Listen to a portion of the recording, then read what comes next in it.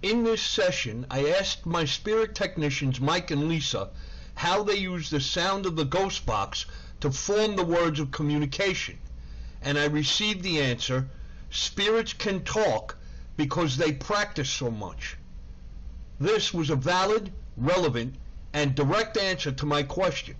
An extraordinary example of actual live spirit ghost box communication.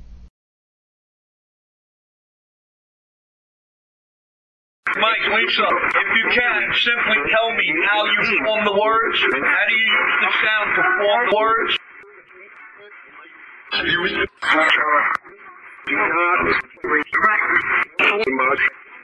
Okay, thank you.